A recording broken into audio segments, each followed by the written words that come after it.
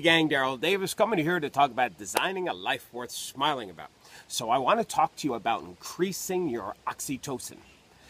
Now, oxytocin is an awesome chemical, and I talk about this in my book, How to Design a Life Worth Smiling About, because this particular chemical, first of all, occurs in our brain, but it also occurs in our bloodstream.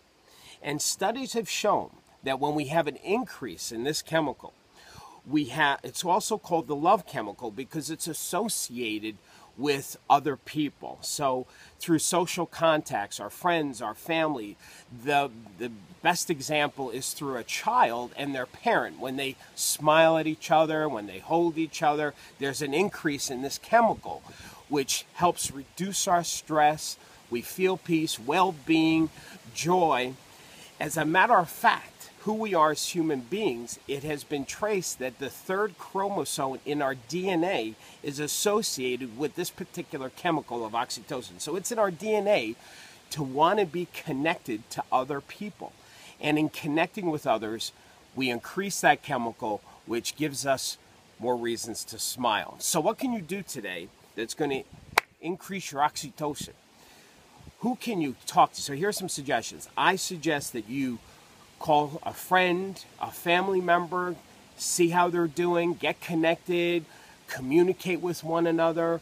Um, in your jobs, when you're dealing with customers, make sure that you really focus on being present and getting connected to that other person. And you focusing on building relationships with others. It will give you more sense peace, less stress. We are we it's important as human beings that we have that social connectedness. And that's probably why facebook one of the reasons i would assert why it is so popular because we crave as human beings for that connection again as part of our dna and which by the way the opposite is true.